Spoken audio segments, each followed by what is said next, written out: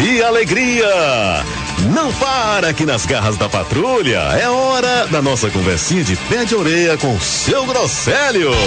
As marmotas que acontecem mundo afora, vem bater aqui nossa conversinha de pé de orelha. É verdade, seu Grosselio.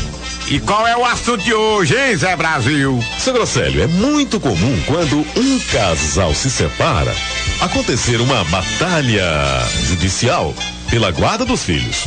Vixe, Zé Brasil, e é uma confusão danada, viu? Agora, como é que fica no caso dos animais de estimação, seu Grosselio?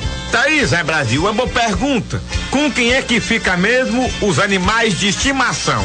Pois é, seu Grosselio, para resolver esse problema, um deputado lá de São Paulo apresentou um projeto de lei para regulamentar a guarda de animais de estimação. Em caso de divórcio, é claro. Thaís, é Brasil uma boa, viu? Porque pode acontecer de o casal criar um animal de estimação e quando separar também, cada um querer o bicho.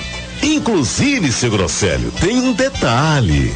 Ah, é? E que detalhe é esse? Seu Grosselio, é que para o animal cruzar, é necessário a autorização de um dos proprietários. Aí é, Zé Brasil. Quer dizer que se eu separo da mulher, eu crio a cachorrinha. E se eu quiser botar a cachorrinha pra cruzar, eu tenho que pedir autorização a ela. Exatamente. A sua ex. Tá na lei.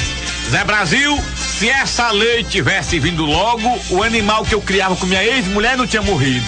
Que animal, seu Grosselio? Um gambara. Um gambara. Foi, a gente brigou e se separou.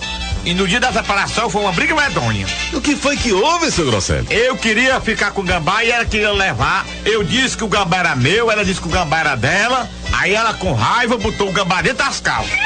Eu digo, mulher, você tá doida? Botou o gambá dentro das calças e a caatinga. Ela disse o gambá que aguenta. E aí, seu Grosselio? Diz aí, Zé Brasil, que o bichinho não aguentou. Esse é o seu Grosselio. E essa lei aí veio pra baldear.